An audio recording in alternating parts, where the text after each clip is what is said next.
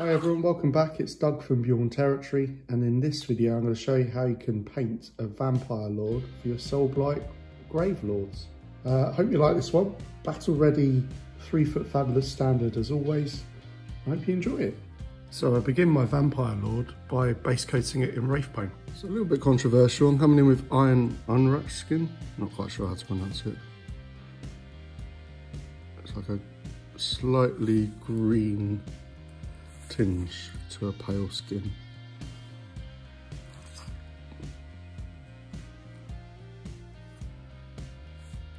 For the Vampire Lord's hair, I'm coming in with Mephiston Red.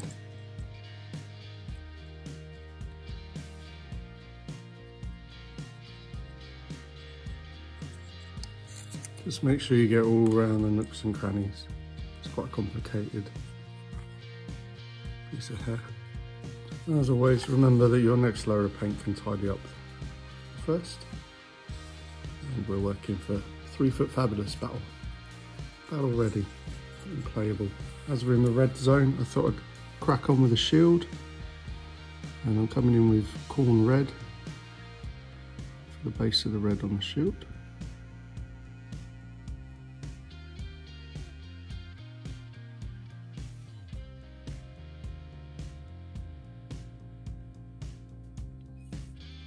Just going to continue working on the shield and I'm going to come in with contrast Volupus pink. Just to darken it down. Add a bit of depth to it on the base of the shield. Doesn't look like much because I haven't painted the dragon yet but do that one first. On the vampire lord it's majority black now. Come in with contrast black the uh, Black Templar.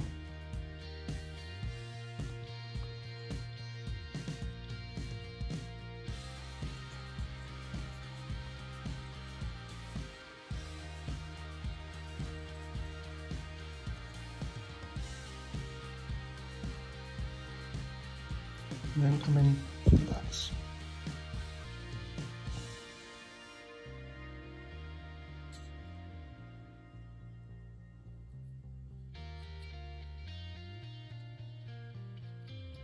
So for the dragon embellishment on the shield, I'm coming in with Evil Sunz Scarlet.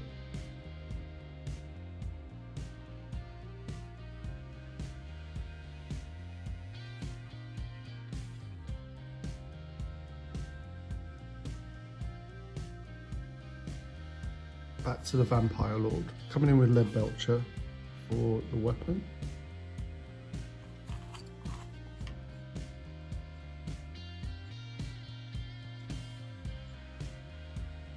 I'm now going to come in with Balthasar Gold for the knee plate.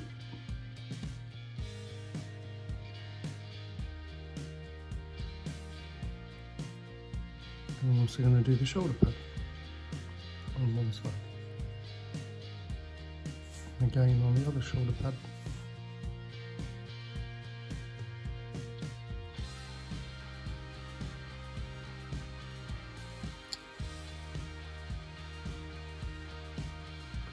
For the shield, another bit of alpha Balthasar gold along the edges.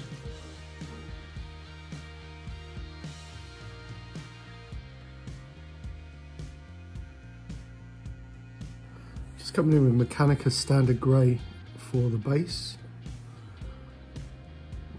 The Rocky's standing on.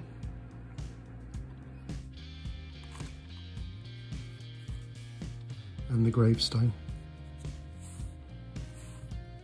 and Mechanicus Standard Grey as well. A bit of a point of interest on the base. First wash, coming with Reikland Flesh for all the bronze bits. Sorry, Balthasar gold bits. Going to do a little bit on the face as well. For the skull that's on the base, I'm using Skeleton Horde, a contrast paint that I haven't used before.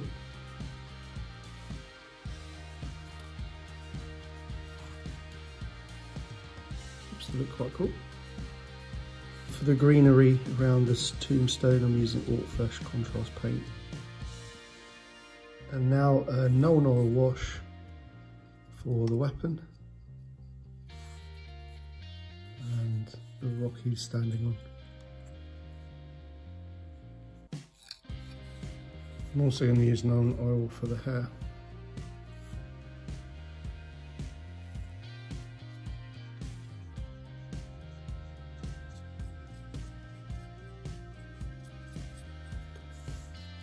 So for the hair, I'm just going to come back in with Wild Rider Red to make it brighter.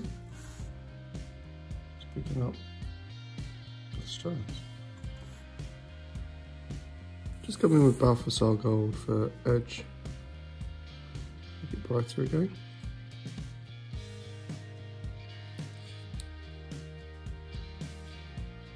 And for the hammer, mace, sorry, just going to come with the edges with Balthasar Gold.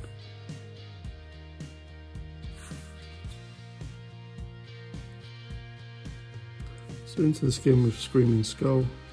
Just going to pick up the edges, cheeks. Trying not to get it anywhere else. Need a better brush.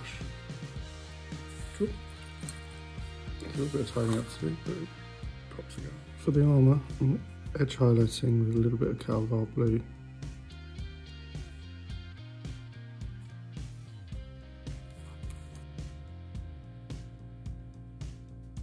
all the sharp edges of the armour.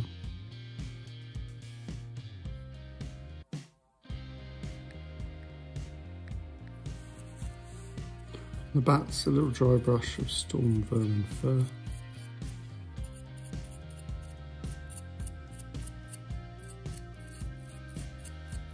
For the base, a bit of a dry brush of a light grey on the rock. For a little highlight on the brass, there's a bit of lead belcher just on the points.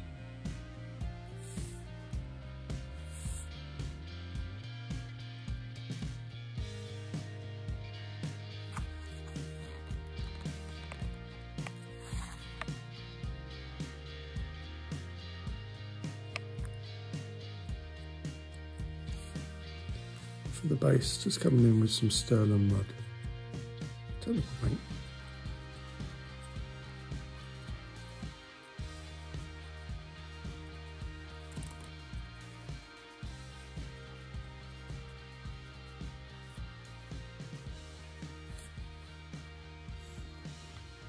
So I've just finished off the base a little bit.